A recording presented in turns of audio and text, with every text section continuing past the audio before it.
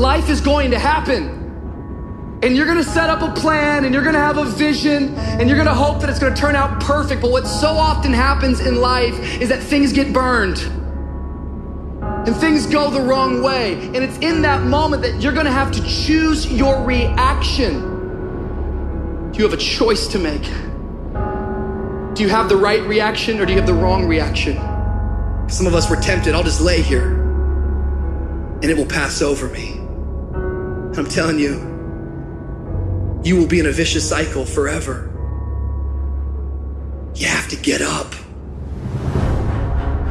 Some of you have been knocked out by life and you got up and saw the blood. You, he hit me. Sometimes in life, you have to hit back. Recycle your pain. Get something from it. You already in pain. Use it. Do something with it. Allow it to take you to the next level. Allow your pain to push you to greatness. What's your why? You need a why. Why do you need a why? Because some days you're going to say, I don't want to get up. But that why is going to say, I'll push yourself. Get up. Your mama needs you. Your daddy needs you. Your children need you. Get up. Your why is going to push you when you can't push yourself. When you want to quit and give up, your why is going to give you that edge you need, that advantage you need, that lift that you need to get to the next level. Your why you better go inside. You still looking outside for the stuff that's already inside. You still looking for someone to save you when you already your superhero. You looking for some information from somebody when you already got what you need in your head. It's just time for you to get up and be the best version of you. As you're going through your go through and you ready to quit, you ready to give in because it don't look like you think it should look.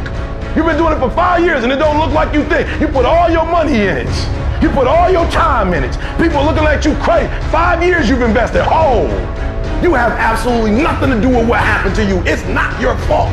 You got knocked on the ground. You had absolutely nothing to do with that. And I'm not blaming you for that. But if I come back a week later, you still on the ground. That's your fault. If I come back a year later, you still on the ground, that's your fault. If you get knocked down, there's nothing you can do about it. But getting back up has every single thing to do with you. And you will promise me that from this day forward, you will not be defeated.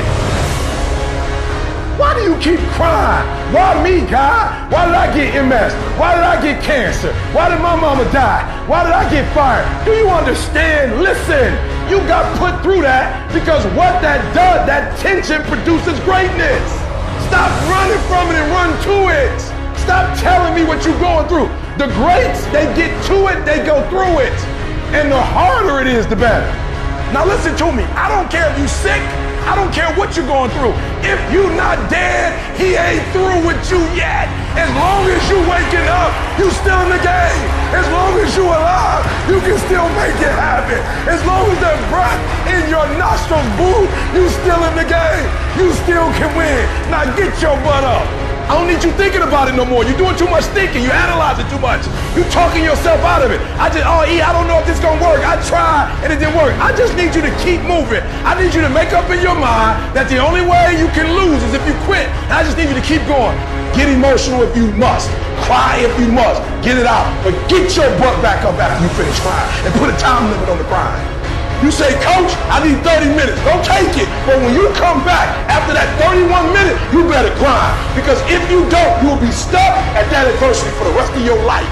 And some of you are not successful because every single time you run up against a trial, every time you run up against a tribulation, you stop and you cut off beast mode. And what I'm here to tell you is, if you tell that thing, I'm here just like you here, and I promise you, I ain't leaving without the degree. I will not leave without that goal. I will not leave without that dream. I will not leave this university until I'm successful. I will not leave this job. I will not leave this client. I will not leave this opportunity until I get it.